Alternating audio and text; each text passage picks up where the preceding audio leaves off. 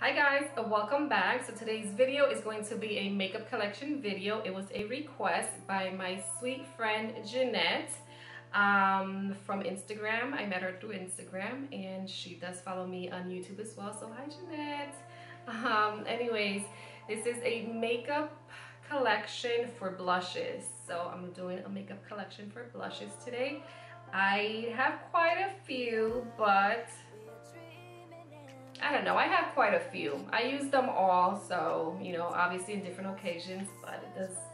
Anyway, I don't even know what I'm talking, you guys. I'm so tired. I, I, I know I look crusty as hell right now, but listen, I did a...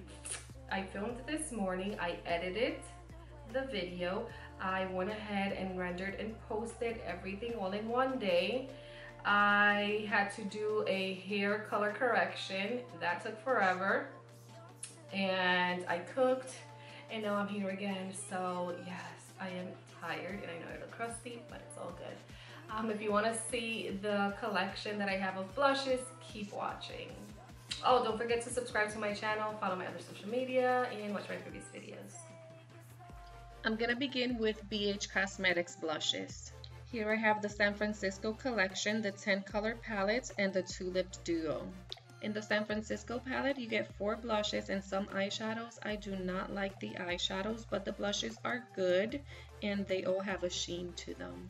The 10 blush palette is a versatile palette. It has peaches and pinks and creams in both matte and iridescent shades. The pigment in them is decent. If anything, you can build them up.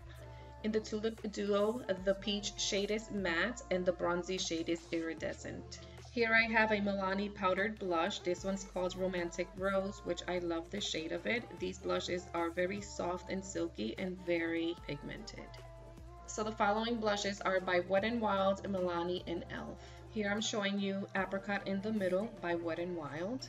This one is Luminoso by Milani, and this one is a baked powdered blush. Here I have Heather Silk by Wet n Wild as well as Mellow Wine also by Wet n Wild. These blushes are all super pigmented. The last shade in this bunch is by e.l.f. and this one is called Mellow Mauve and I have used the crap out of it because it's really good and I love the shade. Alright, so let's move on to Ofra. I got this blush palette in a package, so I don't have like names for each of them except for this one. This one is called Paradise Pink and it's really pretty and very pigmented. So on the palette, the blushes are also really pigmented and soft, including that bronzer. We have pinks and peaches and cream, also matte and iridescent shades. Alright, so on this next batch, I have two City Color blushes, one by Studio Makeup, one by The Balm, and one by Benefit. This one is Guava by City Color Be Matte Blush. And this one is Papaya, also by City Color. Next, I have Coralista by Benefit. This is such a pretty shade for the spring and summertime. Alright, so here we have Wildflower, and this one is by Studio Makeup. So the last one on this bunch is Cabana Boy by The Balm, and I like to use this one during the fall and winter months. Alright, so for the next bunch, I have The Balm, MAC, NARS, Smashbox, and Makeup Geek. I'm gonna start with Cindy-Lou Manizer by The Balm, which I guess is considered a highlight, but on me it looks pretty as a blush. I really can't use it as a highlight because it doesn't do much for me. This is why I included this in my blush collection. It's very pretty and it gives you a nice shimmer, so I like to use this in the spring and summertime. Next I have Cubic by MAC, which is a satin powdered blush. I love this shade. I can use this as an everyday blush. Here I have Orgasm by NARS, which is a super popular shade. I'm sure you've heard of it. It's very pretty, shimmery, and all that good stuff. Next we have Smashbox. This one is called Hint of Bronze. I like to use this one on my bronzy days when I don't want any color and I just go in with this on my cheeks and it just gives me a nice glow. Here I have Rendezvous and XOXO by Makeup Geek. They're both really pigmented, beautiful blushes. Alright, so let's move on to Tarte. I'm pretty sure you guys have already seen these palettes because I did an eyeshadow collection. If you haven't watched that video, I'll link that down below. Today we're going to be looking at the blushes. I'm going to start with the Gorgeous Getaway Portable Palette Collection, which is part of a Christmas collection. The first shade I'm showing you here is called Spontaneous, which is more of a really light peachy pinky shade. Very pretty and it does have a shimmer to it.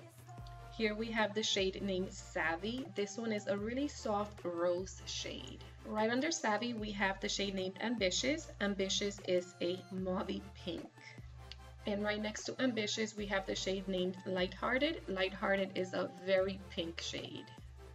In the Rainforest After Dark palette, I have the shade called Unleashed. Unleashed is a soft mauve.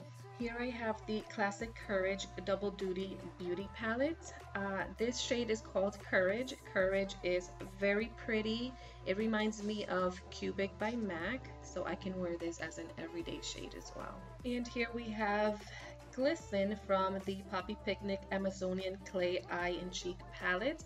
You can actually get Glisten on its own if you wanted to. Glisten reminds me a lot of Orgasm by NARS. They're very similar shades. This is the end of the video, you guys. Thank you so much for watching. I hope you found this video useful or helpful to you in picking out shades for yourself. Um, please subscribe to my channel if you haven't already follow my other social media and watch my previous videos. And that's it you guys. Now I get to take off all this makeup because I feel so greasy and crusty. I mean it's been whew, it's been nine hours. So yes I need to take this off now. Um thank you for watching. Mwah. until next time my loves. Hugs and kisses